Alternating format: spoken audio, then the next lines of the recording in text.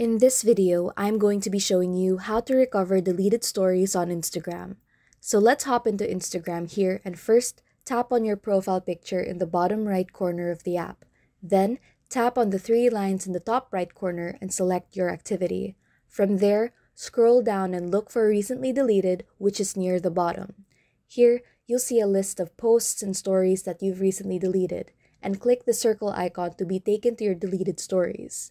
To recover one of these stories, simply tap on it to view it and then tap more on the bottom right corner. From there, select Restore and the story will be added back to your profile. Keep in mind that if you shared the story within the past 24 hours, it will be restored as your story and people will be able to see and interact with it again. If you delete it from your archive, it will be restored to your archive. And if it's been longer than 24 hours since you shared the story, it will be added to your story highlights. If you have any questions, then leave a comment below and leave a like and subscribe if this helped you out.